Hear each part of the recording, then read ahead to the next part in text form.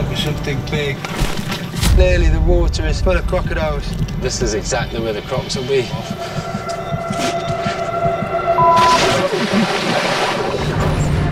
This time, I'm facing former Royal Marine Aldo Kane in the croc-infested mangrove swamps of Borneo.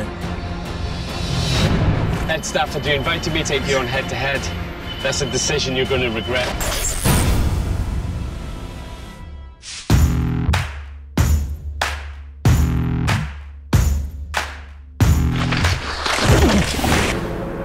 Aldo's a former Royal Marine. He knows his stuff, and um, importantly for this environment, he's extraordinarily fit. I have a huge amount of respect for the Royal Marines. I, I attempted to become a Royal Marine um, officer when I was younger and didn't get in. To go up against someone like Aldo, it's going to test me massively, yeah. We're going to be dropping Ed and Aldo literally out to sea. And they're going to have to swim ashore. Once they get ashore, they're going to have to negotiate mangrove swamps, tributaries full of crocodiles, and then get into the jungle proper. Once they get in there, they're going to head north. Then they're looking for an observation tower. That's where I'll be meeting them.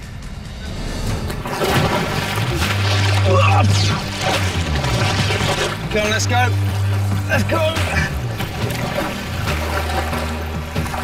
The bottom isn't solid at all. It's just mud.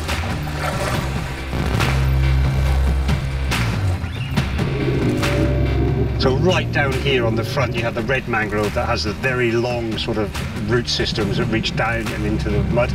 Getting stuck in that mud is going to be incredibly unnerving. I think very, very quickly they're going to realise just what a hell they're in.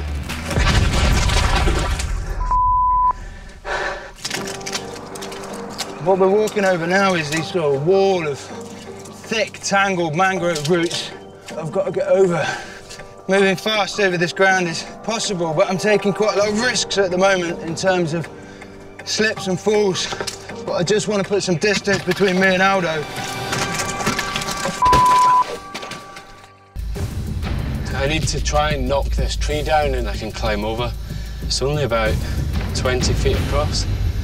What I want to do is put a notch in this side in the direction that I want it to fall in, but mangroves are bloody solid. Come on. Yeah, no, no, no, the wrong way.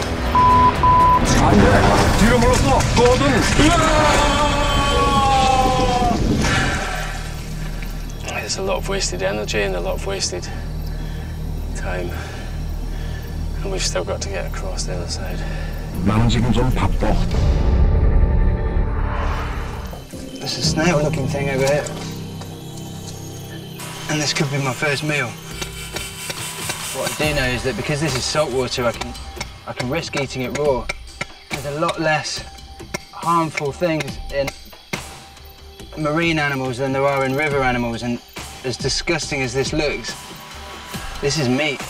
And anything that I can get down me is a win. It smells like mangrove swamp.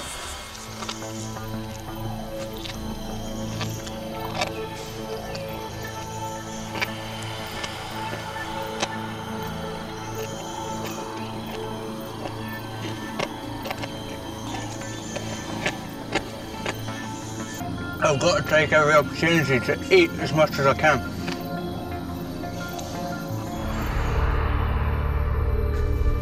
This is deep. This is classic croc snatching territory here. Is it worth taking a risk? We'll have to use some of these vines. All right.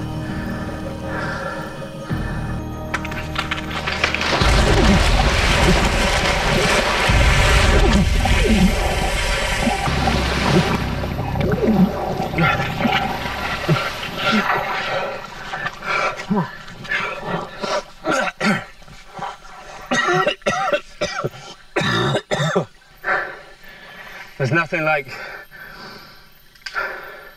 the motivation of having crocs in the water to make you get out fairly quickly. But I have learned maybe not use dead trees for crossing croc-infested water. The threat of the rising tide, I've got no option but to um, stop. But I don't actually think that's a bad thing. I think I, I do need to take the time over the last couple of hours of the day to consolidate. My idea is that if I can tension the vines between three trees in a triangle, And if they're taut enough, very simply, I can make a platform between them. What I'm hoping to do is to windlass. I'm creating a tensile force tight enough to hold my weight and yet not too tight to snap the vines. I'm relying on this to get me up and out of the threat of crocodiles.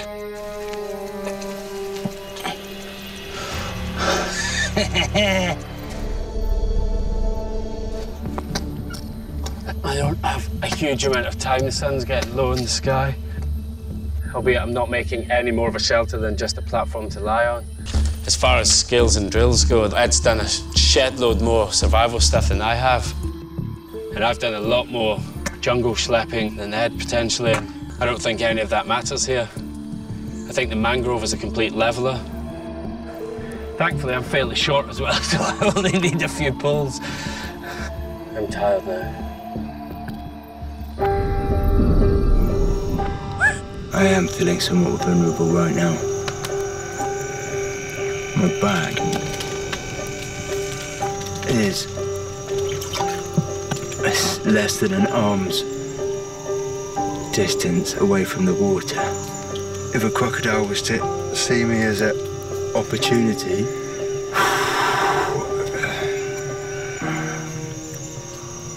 calm, calm, calm. These Nipa palms, they're the only palms that can grow in brackish, salty water. More importantly, that's almost the end of the mangroves. I just need to find a way of getting across now. Everything just takes so much time to come up with ideas and constantly problem solving, and it's, it's tiring.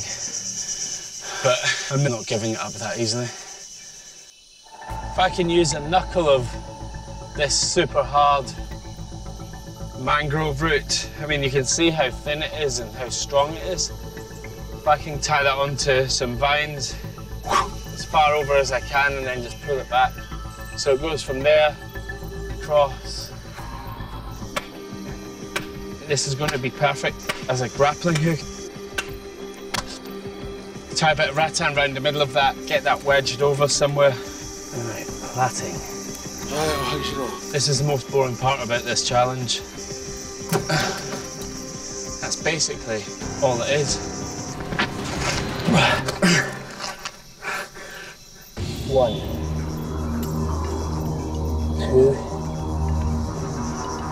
three. Get in! Yes! Coming for you, Stafford.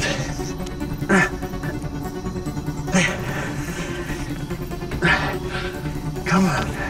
Come on. Don't break now. Don't break now. Ah. Come on. Last bit. Don't break. Come on. Yes!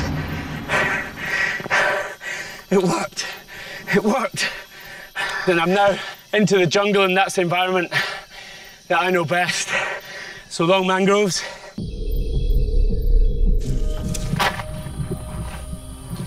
That there is a leech. He's already started sucking quite a lot. I'm debating in my head whether I can uh, reuse the blood that he's taken out of me. If it looks like a worm and it wiggles, therefore I think that will be good bait. I'm just going to make myself some fishing equipment. If it is a race to the finish line, it's going to be the man with the most energy that wins, isn't it? Essentially, it's a fishing rod that I can walk away from. Um, it's got a trigger mechanism. If a fish takes the bait, the arm will spring up. And um,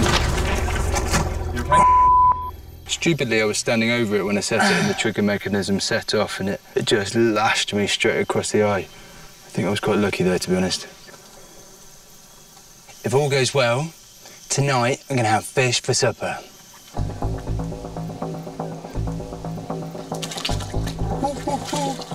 Happy days.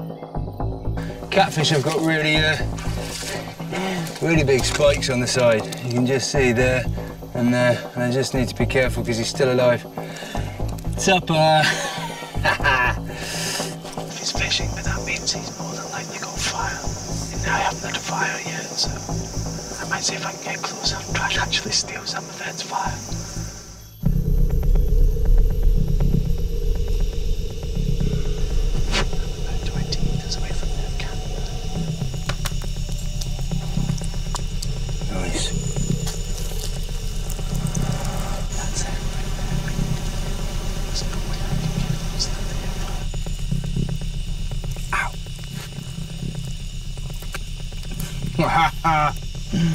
and I'm eating roasted fish.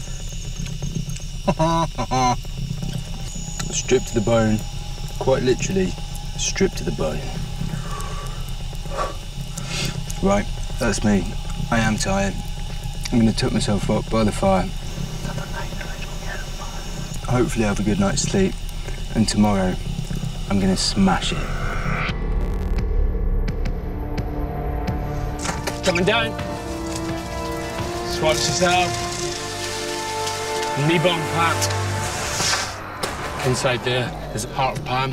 This is going to make me stronger.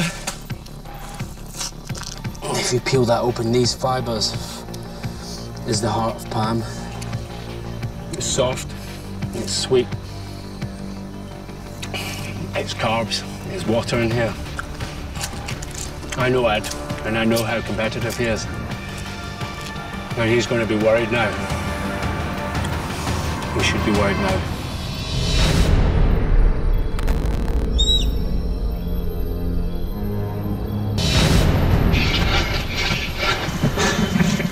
I can see my shadow on my right hand side, which is right, I'm still heading north.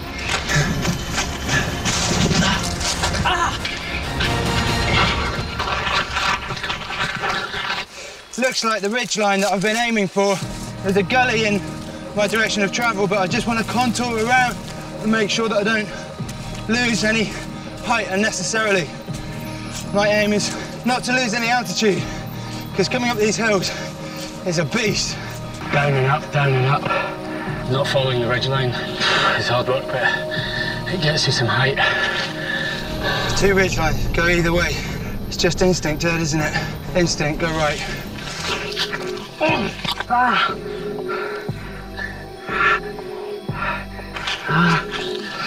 My legs are cramping.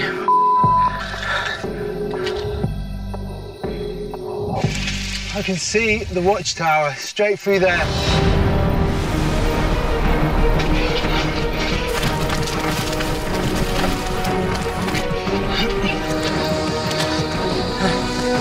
Please don't be there. Yes, look! There is the tower!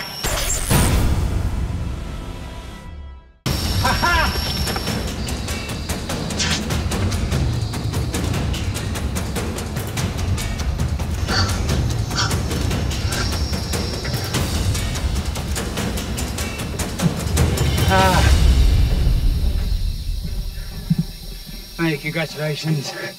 Ah, well done. Best man won. Of course I wanted to win. Of course I wanted to um, be the first man out. But um, if there's one person, potentially, that I wouldn't mind losing against, it's Aldo. Ah, ay, ay, ay. The risk in inviting Aldo to be a competitor in this series was that I knew how strong he was. But I'm glad that I did. He was faster, I was slower. He put me through my paces, and he brought the best out of me. That is genuinely one of the hardest things I've ever done. Genuinely. We'll have a rematch.